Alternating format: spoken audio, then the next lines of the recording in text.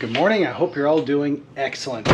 Today, if you've been following along, we are going to start converting our cooling system and intercooler system back to stock configuration after our V-mount wasn't quite working the way we wanted it to. But that's actually going to be a pretty involved job today. So, right down here, I actually cut out pieces of the radiator support to fit the V-mount. So we're going to have to get a new um, piece welded on there so that we can mount it up nice and tight. And also the oil cooler usually mounts in this backward orientation, but we have it up in front. So I'm going to have to get that relocated as well so that we can try and fit our front mount intercooler. One of the goals with that intercooler is going to be retaining the really cool fog light. So we're going to have to see some path for the radiator piping, or excuse me, the intercooler piping, so we can avoid messing with all of that. So right now I got, as you can see, the front bumper's off over there. We got the radiator that's going in mocked up so I can start making the pieces that we need to weld on. I'm to start with that, but I'm also to go ahead and drain the oil because when I unbolt the oil cooler, obviously you're to have a lot of oil going everywhere, so we'll start on that. And lastly, I think lastly, I want to hook up a sensor on the block that should make the coolant gauge work on the dash because obviously one of the big challenges of this is that I haven't been able to really just take off with the car because I have to have the Haltech running because I don't feel like running a um, interruption in the radiator line with one of those fittings to run a coolant gauge. I don't know where it would go because I'm trying to keep this interior nice and clean. So I think I have a solution for that. So we're going to be checking on that today as well well hopefully today if not tomorrow because it's a holiday weekend so we should be able to get this all done. So let me make these pieces to weld on here and we'll start there. All right so I just um, whipped up a couple plates here which we're going to weld onto the actual radiator support.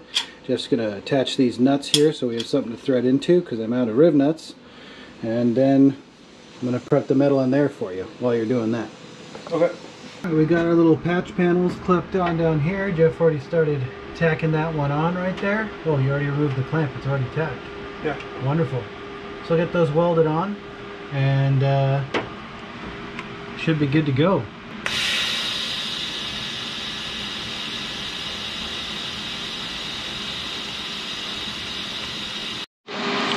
And just like that, we've got the radiator supports rebuilt. Somewhat. No, yeah. they're there. They're there. They look a little messy, but you know we aren't. We don't have professional sheet metal with an actual bead roller to match the divots and stuff. But the welds are there. They're going to hold. There's more than plenty strong, so there it's going to work. You just need to hit them with some, uh, you know, spray paint. Make sure they don't rust, and that's about it. It doesn't matter how they look. They're going to be covered by the radiator as long true. as they're strong, and they they're, are. They're strong, but yeah, we just need to make sure they don't rust. That's the key thing right now. Yep, so I'm let them cool down and then I'll spray paint them, and then I'm gonna continue to work on getting this oil cooler out of here. I've already let the oil drain a little bit, but and then we're gonna switch back to this oil cooler, which is the same, but it has these, um, I think these are Mazda Tricks or Atkins rotary braided lines that go in the stock uh, run length. So switch to those and then I am actually going to go ahead and pre-bolt up some of the air conditioning stuff and then we'll start fiddling with the intercooler and see what we can do there. Making some progress, making some progress.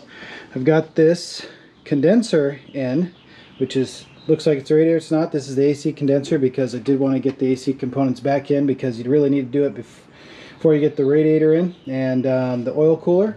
So the oil cooler is back in in its stock location. It's it right there lines are ran even switched over to the non-swirl pot water thermostat neck thingy. But before we get the radiator in there we need to get the fan situated. And now I'm going to talk to you all about the diff what's my plan for the fan. So I got another one of these um, this is a fan assembly off of a Nissan Quest like 1996 97 98 and I used it on the first iteration of the FC, the one that burned, but um, and the other one still worked, but this cowl is a little bit melted from the fire, so I decided, oh, get a new one, and I think I can make it attached, look it nicer after all the things I've learned these years of working on the car. Um, this is the clutch fan, and what I want to do right now is talk to you all about a little bit about clutch fan versus electric fan, what to expect. And there's, since we've been struggling with this cooling system for so long, there's been a lot of people in the comments talking about the different options. And it's been a great discussion, and I want to talk to explain some of that right now. So I'm going to start with the very basics because maybe whoever it is is watching this doesn't know. First component obviously is your radiator, right? Now the radiator holds the liquid in it and the liquid itself is not directly cooled, right? The aluminum of the radiator, the heat exchange, is what's cooled when air passes over it and the fan pulls air through it. Then that cooling of the aluminum transfers to the fluid flowing through it, which goes into the engine and maintains the temperature. So, right, that's the basics. When you are running a which is this one right here. This is bolted directly to the water pump drive and it spins in here and you can see I can spin this freely. That's because this is a clutch. It's actually a viscous fluid in here and you can see this has heat sinks on it as well to absorb heat. And what happens is as this heats up, the liquid becomes more and more viscous and um, it starts to turn closer to the RPMs of this shaft. So in other words, it's always on. So when you turn on your car, immediately this fan starts spinning. So the aluminum of the radiator is constantly getting a little bit of extra cooling. So when your thermostat opens and the hot liquid starts to go through, it's already going through a cooled radiator. Then as it heats up and heats up, it continues to pull more and more. And clutch fans, yes, they pull a lot of volume of air and they have a lot of torque to pull that air, or CFM, which is great. But you're gonna get a more gradual or more consistent temperature range with your clutch fan, which is why some people are like, oh, they're always the best. But it's more about the difference between the way they work. Like the electric fan here, when you have it set up, especially on a standalone, it just turns off and on. So it has to reach a certain temperature, which it says, okay, I need to turn on, and then the temperature is going to rise just slightly past that because it's catching up with the duty of cooling down the radiator, especially when you're not moving. And then once it gets down below a certain point, it stops and the same cycle happens again. So you get more up and down fluctuation. So that's why you see less steady and consistent temperatures. It gives you more of a up and down, up and down, keeping you within a range, but not as smooth and consistent as the clutch fan. So for instance, some people in the comments are saying, oh, I just stay at this temperature constantly. Well, you're probably running a clutch fan. If you're running an electric fan, it's gonna hit a certain temperature, turn on the fan, it's going to go a few degrees above it, and then it's going to come back down. And it's going to keep doing that same thing. And either one is fine. But when you don't want to run a clutch fan, it's because you don't want to put any extra strain on the engine because it's spinning that, that fan. And that's the difference. Now, I'm going to run this fan again, but the cool thing about this is I'm going to kind of run it like my clutch fan would be. So this is off the Nissan Quest and as I already said, and it has two modes because it is both the condenser fan for the AC system and the engine cooling fan on those cars. It's also the same model that's on a Ford Taurus of some year. But this thing, even compared to Spal fans, moves air. It is a really good unit. You can get them at junkyards, but I got this brand new one, trying to keep it looking good. But there are two speeds. I held up three fingers. Two speeds. So I'm going to wire it in so that when the ignition is on, it runs at the low speed all the time. And that when it hits a certain temperature, the Haltech ECU will trigger it to go to full speed. And I'm going to use that by using the 87A pin on my relay and using a second relay that comes with ignition on. I'll wire that up a little bit later. But what's going to, excuse me while I wipe my nose. What's going to allow me to do that is when I was running the two Spal fans and the fan on the top of the intercooler with the previous setup, I decided, man, I need to get this DC power alternator. And this thing is a unit. It's only it's 180 amps, which is way more than the stock one would be, which is not like as crazy as some of the other ones. Jeff just put a 300 amp on his car. But um, yeah, it's going to take care of running that uh, fan in the low speed all the time. And again, if I don't like the way it works, I just unplug that relay and then it'll go back to the system where it just turns on at 189 degrees, goes up for a few degrees and comes back down and it'll probably be just fine. But I'm excited to see how it goes. Now I need to fit this fan to that shroud and get it wired up.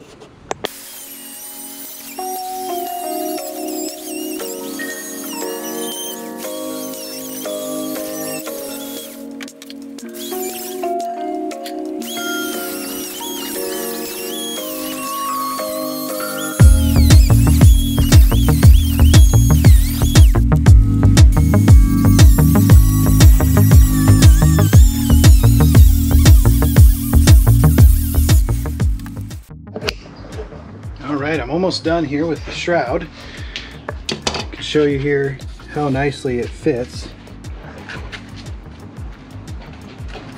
All the way around, nice and flush. So now I need to figure out how I'm going to mount it, which is why I've left this one on. I cut the other one off, as you can see, and I've been using the sanding attachment to get everything nice and smooth.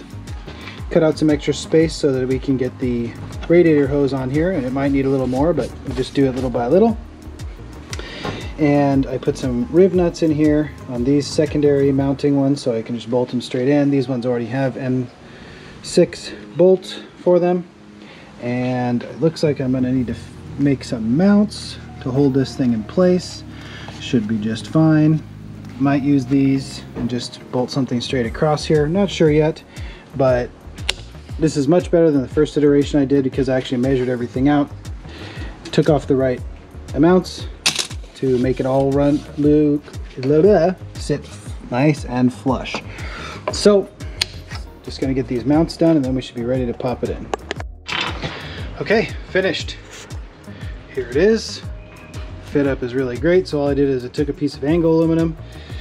I put riv nuts into the angle aluminum and from the inside of this shroud, I have flange bolts coming out. A little bit of mismatched hardware, which is annoying, but um, you know, it's gonna work just fine. So got that on both sides and the fit up looks great.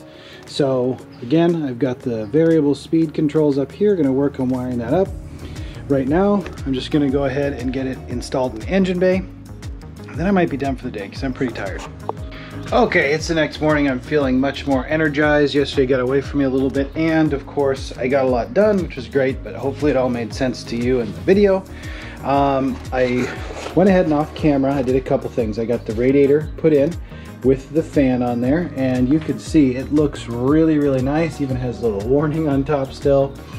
Um, need to wire that up, but you can see how massive it is. Like this is a really good option for this fan. Um, and again, it's the dual speed fan, which is why I went with this one. I bought it brand new, so it's about $80 um, from Rock Auto, shipped. And um, that's what I wanted to mess with this one again, especially since I had great results with it last time. So, um, inter, uh, excuse me, oil coolers in, radiators in. I filled it with oil. You can see the coolant there. We'll bleed it in just a little bit. And the other thing I did was, as I mentioned, I want to get um, the coolant gauge working. So I went ahead and I went down and I changed this sensor. This is the S4 one and we have S5 harness in the car so I just switched it out. Only thing that's different is the little connector. But this sticks into the block and it's right down here next to the oil pressure uh, sender. And I got that in and then I pulled this part out of my harness. So this is supposedly just the this plugs in and then this goes all the way down to a pin on the metering harness not connected to the ECU and if I can connect that to the right pin, we should be able to get the coolant gauge working. So that is one thing I'm going to be working on. And then of course I need to wire up this fan and get the intercooler in. So I have some straps here. I was test fitting some stuff earlier. The saddest part of this is that I'm going to have to lose the fog lights. There's no way around that. The second saddest thing is that I don't want to cut up this front bumper. So we're going to have to transplant everything to the other bumper that I have already cut to clearance for that intercooler. And the piping, the sad thing about that is that we did run that bumper into a wall when we were moving the car.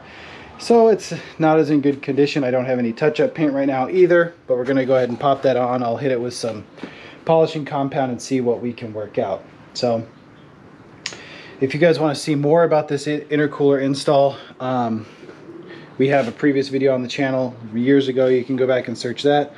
But for right now, what I'm going to do is start cutting. I need to cut some of these tabs off and get this portion banged down so we can fit it flush.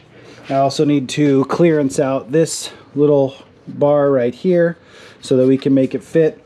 And then gonna have to drill holes in this part of the chassis or whatever this is body so we can get the piping passed through which is a lot of fun. So get to it.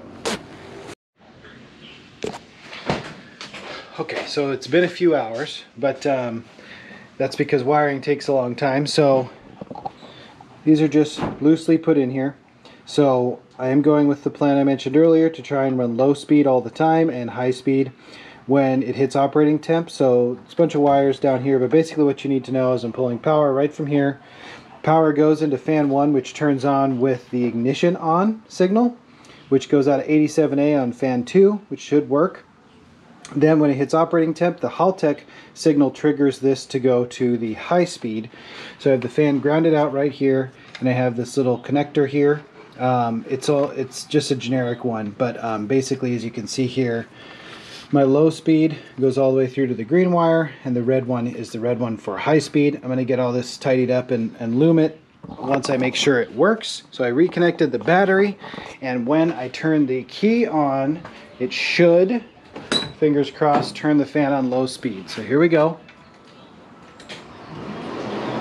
Bingo.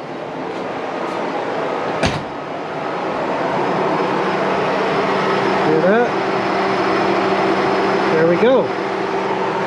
Fans running on low speed. That should be nice. So, again, that's my attempt of having the best um, mix between an electric fan and a clutch fan with this two-speed fan. So, um, now I'm going to move on to the intercooler, but I am at a little bit of a miss of what to do. I'm kind of heartbroken about losing the, about losing the um, fog lights and also I'm just nervous about cutting into the chassis some more but I guess we'll get her done. There's not much else we can do at this point so I'll be back with that. And sorry I'm not showing a lot of install stuff but like I said I've done a lot of this stuff before on the channel just trying to make a good update with kind of like bigger strategy about what we're doing. Okay I'll be back. Well I've been making really great progress um, but I ran into a bit of a snag which is the hole saw I used to cut the passes through. So I got the intercooler installed. Let me start there. So it's installed nice and tightly. Um, the intercooler piping comes here and then it needs to pass up through. So you can kind of see if you look that that um, hole is kind of marred up, but my hole saw that I originally used, I have to do another one over here as well, um, is not cutting through. And I'm just, I mean, I'm okay with the progress we've made because if you think about it, we completely uninstalled the, um, well, I did that previously, but completely reinstalled and redid the um, cooling system and uh, got some good things going. But I'm going to have to take a break right now and take care of some other stuff like enjoying my holiday weekend with the family. So, um, anyway, I'm going to just go ahead and get the front bumper put on here because what I realized is I can just do like I have here, uninstall the wheels, pull the fender liner back, and get to the remainder of the space I need to to uh, finish the intercooler. It needs to go up here, out of the turbo, same thing over there, back into the intake. So I already started trimming up this piece for clearance. It's just got some paint drying on it so it doesn't rust. I'm transplanting all the good stuff off of the bumper that has already been clearanced for the intercooler. Make sure that all fits up so that'll be important as well get it all up there and then I can actually run the car NA because I can't really boost yet anyway so I'll be able to test the coolant system, bleed the coolant, do all that productive stuff and then considering it's holiday weekend I can't get the new tools to cut the holes for those pipes so might as well finish up with this and then enjoy myself. Okay, it's been a long day, it's been a long couple days, but uh, here's where we're at. This is our bad idea, but this is just temporarily because as I told you, we don't have the intercooler piping coming out from here yet. We just want to drive it around just some test drives, leave the coolant system. That's about it. But the old wreck front bumper's on, intercooler's in there. And also I did get the coolant sensor hooked up for the stock coolant gauge. So hopefully that works, which will be an exciting development of all this. We got oil in the car, we have coolant in the system, so I think we're ready to fire her up. Can you think of anything else? No, just as long as we replace the oil. That was that's pretty much it. Okay. I'm actually going to get the Haltech so we can monitor the temperatures because we want to make sure that secondary fan setting comes on and then we'll give her a go. Okay, Haltech is connected. You can hear the fan running already, which is great. Let's give her a crank.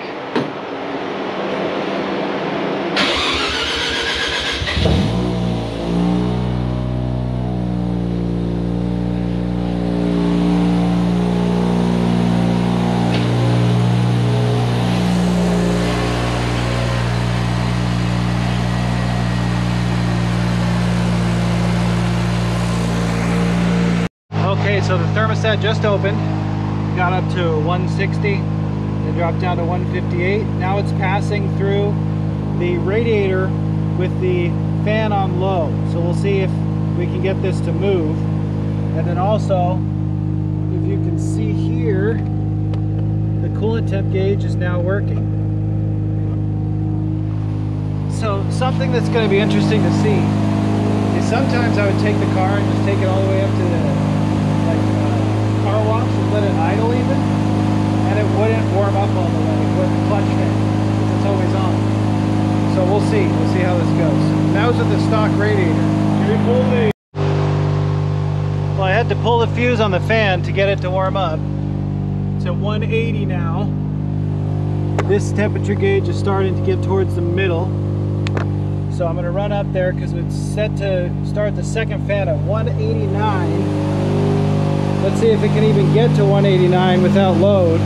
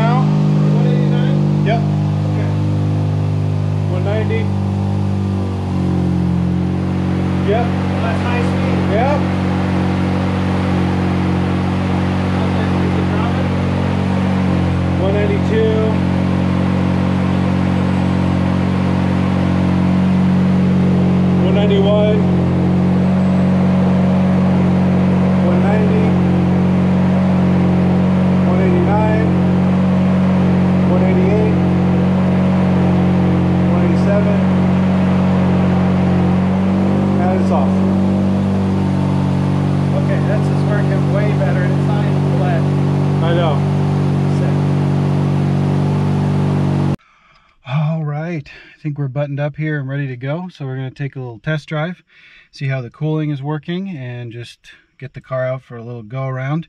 I'm going to just go ahead and pop out, get some gas real quick. Nothing too crazy. I do expect intake air temps to be pretty high with um, that patch tube we put in there, but we'll see. Just got on the freeway, just cruising. Cooling gauge is about middle. Just touching 170 something. Intake air temps are a little high, as I mentioned, but uh, this is just a test run mostly for the cooling system. So far, so good. We'll see how it does.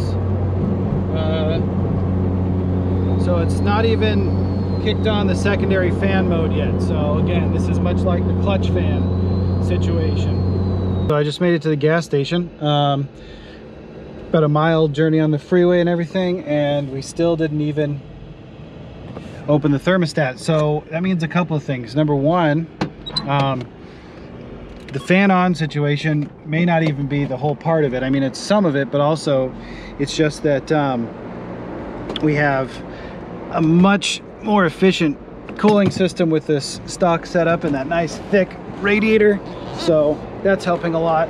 I did also notice that um, just in general, it took more coolant than the system we had set up. So I think this is definitely the ticket. We just got to get this intercooler finished up.